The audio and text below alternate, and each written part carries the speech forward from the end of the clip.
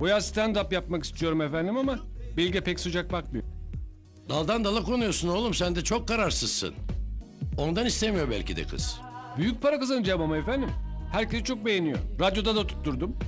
Radyo ne olacak bırakacak mısın? Daha yeni girdin be oğlum. Stand-up'ı tutturursam hemen bırakırım efendim. Onlarla mı uğraşacağım? Her işe ben bakıyorum zaten. Vallahi sen bilirsin. İyi para varsa. Anne! Evet. Ha burada mısın? Anne be. Babamdan isteyemiyorum. Para mı? Hı, çok değil. Ne yaptın paran bitti mi? Yani biraz var ama yetmez. Zeynep'le sinemaya gideceğiz bugün. Çıkışta da belki bir yerde bir şeyler yeriz. Zeynep katılmıyor mu hiç bu masraflara? Olmaz be anne. Kız nişanlımız yakışmaz bize. Allah Allah. Maço musun oğlum sen? 2000'e giriyoruz. Her şey ortaklaşa artık. Ali bak bu evin parası ona göre. Ben de babana hesap veriyorum. Tamam anneciğim kapatırız açığını. Tamam.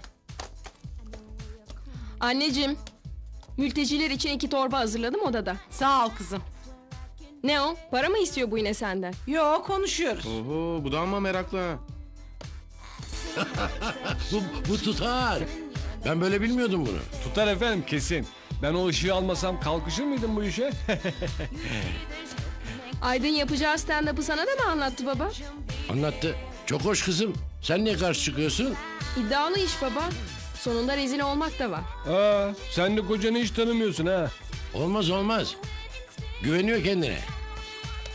Sen söyle be anne. Konuşturmasana oğlum şimdi döktüreceksin kahveyi. Hayrola? Ne istiyor yine? Ne isteyecek baba paradır. Yok yok araba.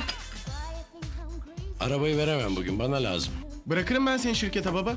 Amcanı alacağım olmaz. Sağ ol Nazancığım. Afiyet olsun. Tamam onu da alırız baba. Yoldan geçerken de Zeynep'i alırız ha. Ben de sizinle geleceğim bugün. Beni de bırakacaksınız. Eniştem götürmüyor mu seni? O Cenap abi alacak. Ne var? Radyoda canlı yayında röportaj yapacağız efendim. Saat 14'te.